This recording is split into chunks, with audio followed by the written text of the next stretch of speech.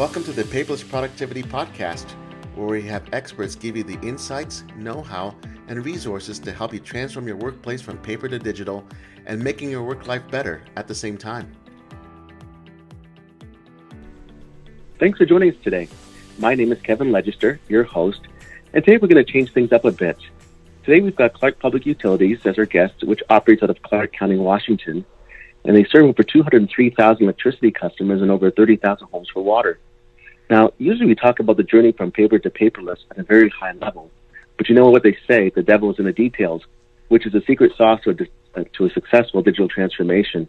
So we're going to put a magnifying glass on the segment of their story in regards to how the solution was delivered and key steps and lessons learned during this implementation and rollout that helped to make it a success. So with us today from Clark Public Utilities is Suzi Walker. Hi, Suzi. Hi, Kevin. Uh, and Suzi, for, for our listeners, if you could just maybe uh, just tell us your, your, your role at uh, Clark Public Utilities and uh, how long you've been there.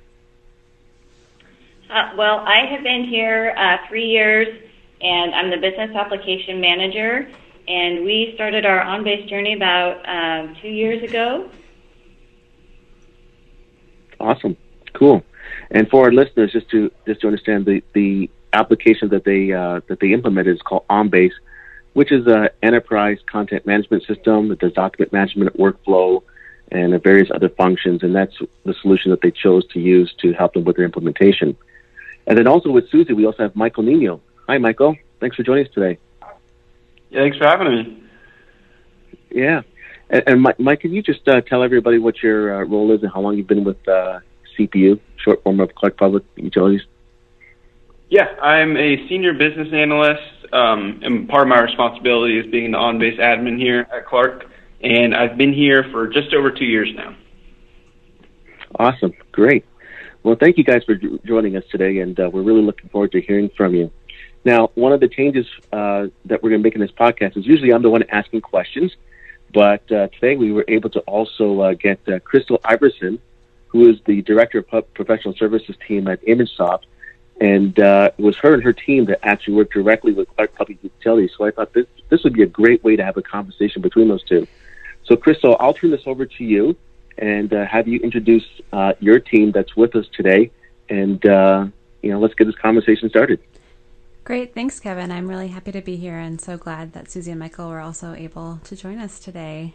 Um, so, again, as Kevin said, I'm Crystal Iverson. I'm the Director of Professional Services with ImageSoft. I've been with ImageSoft for just over five years now. And I actually used to live in Vancouver, Washington, and paid my bills to Clark Public Utilities. So it's really fun to see that come full circle.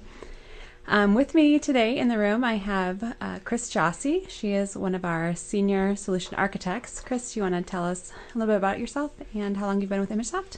Hi, everybody. I'm happy to be here today, and I've been with ImageSoft for seven years and have implemented all types of customers in all different business verticals. And we also have Han Din. She's a systems engineer with ImageSoft.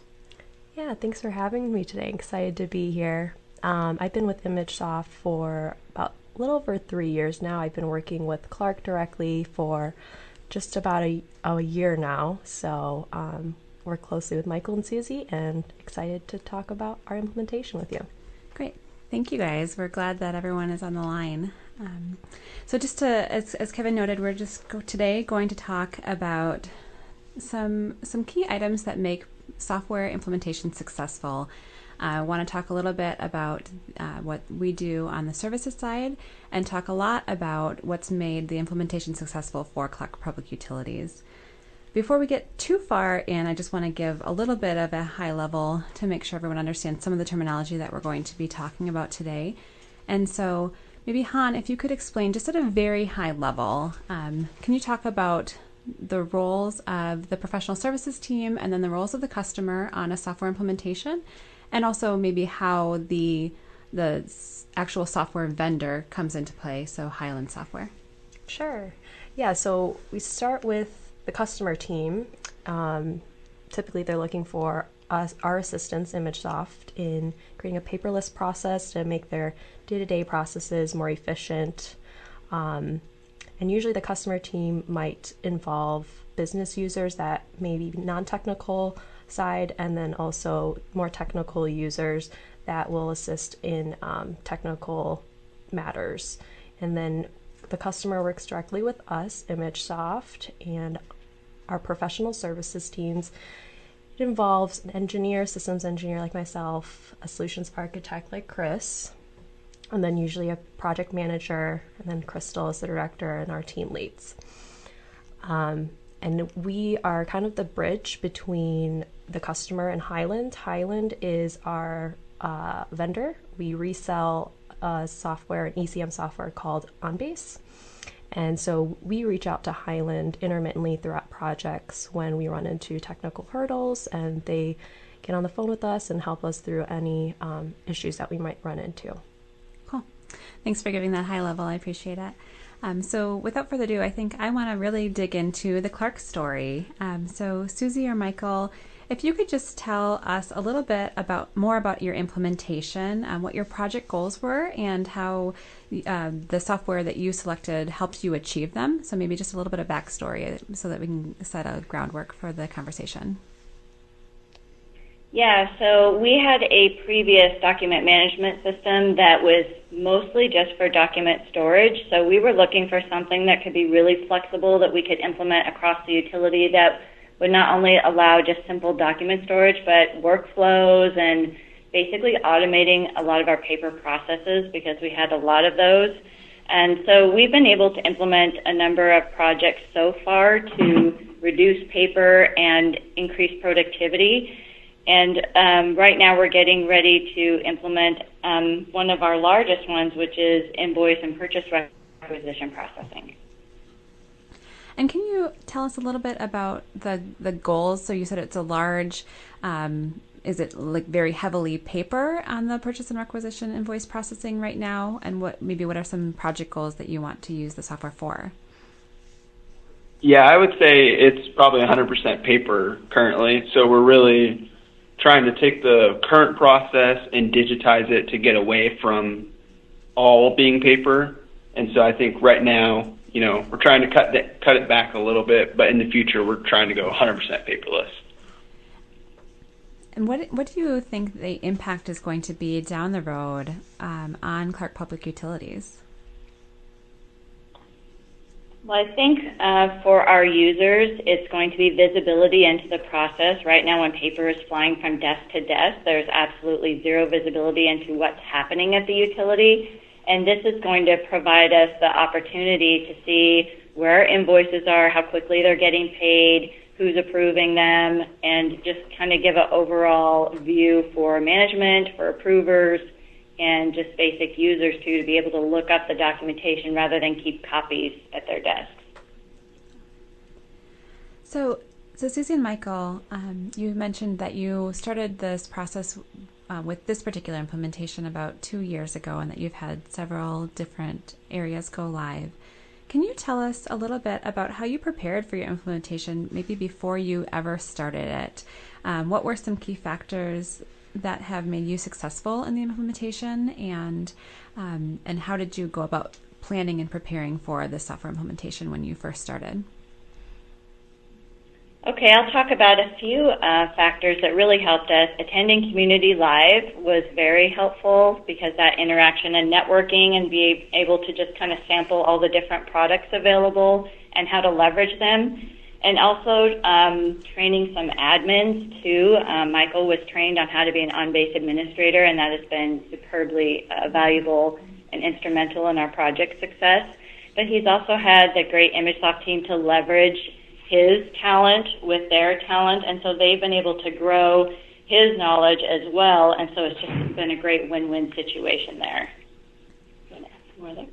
Yeah, I think on top of that, um, just kind of exploring what's in the system when it comes to developing. I know we've kind of done that with ImageSoft, and I think we've created some really cool things just by exploring and seeing what works.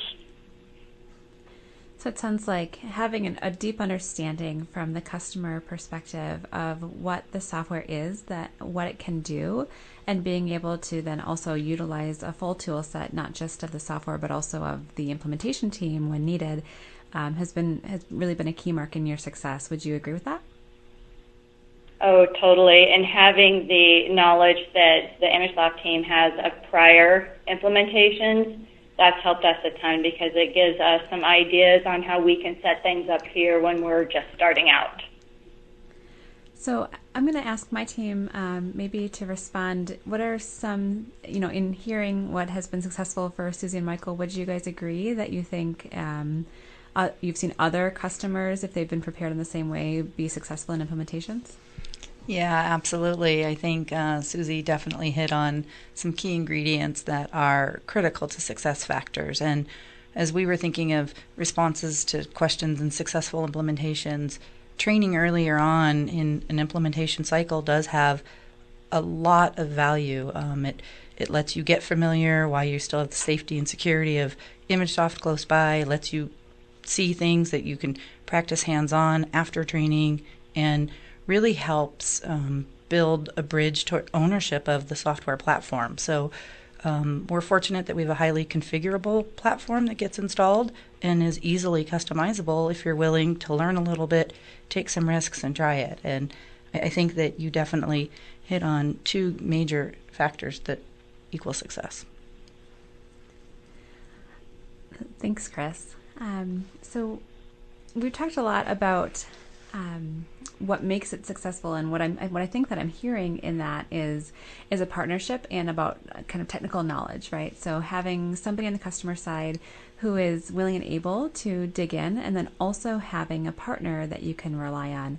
Um, so maybe Suzi and Michael, if you could respond first. Um, can you paint me a picture for what partnership looks like to you in terms of project implementation? Because I, I think that's one of the things that have made your implementation in particular so successful and you such a great partner for us? Um, I think a lot of it, kind of how we've approached it, is more of a collaborative approach. So, you know, early on, I really didn't know what I was doing in terms of development and how to be an admin. And so I relied on SEs, um, especially Han, on just like kind of how to learn how to operate OnBase. And as we've progressed through multiple projects, um, now instead of having to heavily lean on ImageSoft and Han as much, we can kind of work together to create solutions. And Han, from your perspective, obviously you and Michael have been working together. So what does that partnership look like on your side? Yeah, um, me and Michael have been working very closely together, and I think the great thing about this partnership is we both kind of have a vision of what we want to work towards and we use collaboration. There's some level of trust between us and we just share and exchange the knowledge between one another and um, and i think that that's real key having the re- realistic expectations as well as understanding what the common goals are sometimes when you start an implementation 50 people have 50 different ideas of what the end result is going to be like. So managing those expectations and you know recognizing what it might look like on day 1 versus what it might look like on day 365 because once something gets implemented it can be evolved to get better slicker and cooler um, but you often just need a starting point so when you can start a piece of the project with the same common goals in mind and stick to it, it makes it much easier to get to the end result. Yeah, So Suzi and Michael, I would I would be curious um, to kind of feed off of what Chris just said. When you guys started this this journey to to the enterprise content management solution, did you have specific goals in mind, and have those goals stayed the same, or have they shifted over time? That's a good question. Um, I think our goals have been the same as far as very high level to automate business processes and reduce paper and increase visibility. But digging into the details, I think, was a little more challenging than we had anticipated because some of the processes were very complex. And so I think there was definitely some adjustments that we had to make about how rapid we could deploy some of the solutions based on the complexity. So I think understanding the complexity ahead of time would have helped us be a little bit more realistic about maybe our timelines. But overall, we achieved what we set out to do. It just maybe took us a little bit longer to get the level of quality that we wanted to deliver to our users. Mm-hmm. And I, I think that I understand now that um, Michael is owning a lot of the solution and that ImageSoft is really acting kind of as a, an augmented partner to um, to Clark. And I didn't prepare you for this at all. To, that I was going to ask this, but how how was that evolution, Michael? Like how how did you get to become so so comfortable and confident, and what was it like to to dig in? Uh, you know, it's really just a comfort thing. I think as we went through different projects and just different configurations, I, you know, instead of creating a Jira task and asking ImageSoft to help out or actually configure things, I just went ahead and tried to do it myself. And then if I ran into trouble, that's kind of when I would leverage ImageSoft. And I've just kind of taken that approach since the very beginning. And now, um, I guess it's just led to me doing a lot of the configurations and still, you know, leveraging ImageSoft if I need some help. But it's kind of where we're at. Yeah, I think that we all really appreciate um, the collaboration that we've had between the teams, and um, and doing it remotely across the country as well has been a really cool experience. Um, yeah. So another question for the group: um, what advice would you guys have for first time customers to help in their software implementations to make sure that where they're setting up for success instead of setting up for stress? I know that software implementations can take a lot of planning on the on the forefront and um, have a lot of unexpected twists and turns occasionally. Um, so maybe from from Suzi and Michael first, and then from the ImageSoft team, um, what advice would you guys give for people who are kind of diving into the digital transformation space? Um, I think one thing that would have been helpful for us is to have our users document their processes thoroughly before we did discovery, um, because it seems like discovery was an onion with many layers. so there was multiple discovery sessions where you would find out maybe new information, and so at least maybe getting a listing of what people are doing currently to help guide some of those conversations because it did tend to get a little bit overwhelming one thing also that we learned was keeping our key stakeholders in the loop. Um, a lot of times we were working with area managers, and it would have been uh, helpful for us to meet with the stakeholders, maybe the level above those managers, just to keep them in the loop about the progress we were making. Um, because there were a few twists and turns where upper level management um, wanted us to make some changes that set us back just a little bit. So I'd say most of it was project management wise. Um, software wise, I think everything went as we expected. Yeah. Michael, anything to add to that? Uh, I think something that's been really helpful, kind of on my end in the configuration and testing area, was finding that systems expert or the process expert in the business. Um, just because sometimes upper management doesn't have their hands in the day-to-day activities so once we've been able to find kind of a process expert and have them be our lead tester, um, I think things have just gone a lot smoother after that. I yeah, see. you can see we just hit on all three levels of the organization the end user, the manager, and then the director above that, keeping all three of them in the loop, which can be that's a lot for a project, and then developing software as well. Absolutely. There's like that little, you know, end goal of actually having something in place, right? I see I see Chris nodding her head all throughout when you guys are talking. So Chris, you've been doing this for seven years. Um, what what has your experience been, and what would your advice be? Yeah, exactly. Um, we often find at Discovery that the management has a different idea of what's actually happening with the day to day users. So definitely insisting or requesting that there's a business user on the floor, or even watching them do their job because 10 minutes of me watching somebody do something, I have a completely set of different questions to ask than listening to the manager explain what they think is really happening. So there is, it's very common that there's a disconnect and people have found their own ways of doing things that nobody even necessarily knows about. And not that it's right or wrong, they've done what they've learned to do to just get the job done, but the software can often make things better than what the original problem was and streamline it moving forward. I do think communication from point A to point B all the way through is critical from educating in the lunchrooms to this is coming, oh, here's who ImageSoft is. Build that excitement and build that momentum and that continual. And you're right, there's definitely the different levels of it, but just there's let everybody know all about the project and that it really is coming and it's really happening so nobody can be in denial that change is coming. So not only is it understanding the process and figuring out where changes need to be made, there's a whole change management component that has to be amplified throughout the organization when things like this start to happen and come come. So, do you have anything to add? Yeah, I I guess just for me, from a technical perspective, I always like to um, just give a heads up. And this is technology. Technology is always changing, and there's always something, right? I mean, there's bugs just naturally. It's technology, so just having that expectation going into the project that it's gonna be a windy path with hurdles and potholes, maybe, but um, just I guess the takeaway there is to have a goal in the beginning of the project very clearly define what you want out of the software and what, how it can help you. And revisiting that throughout the project, all the different phases, so that when you do run into those hurdles and potholes, that you're remembering, okay, we can get through this because this is our end goal. Just keeping moving forward, and again, using momentum, excitement through the software and throughout the whole project, I think is important.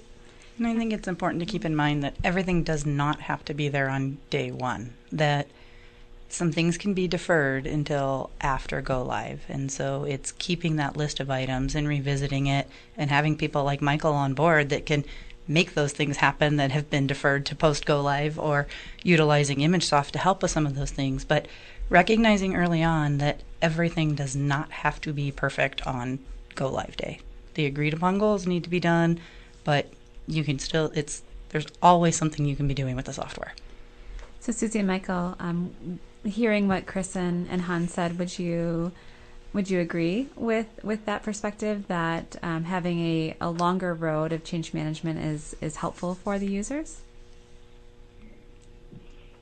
Yes, totally. A um, couple things about change management um, in our project that we're rolling out here in a week we identified who the power users would be of the new system, which is our executive assistants and admins, because right now they're doing all of the invoice processing and purchase requisition processing. So we decided to make them our power users, and we've set up a number of training sessions with them and had open communications and some ride alongs even just so they could be the evangelists for the new process as well in their different departments since this is a utility wide rollout.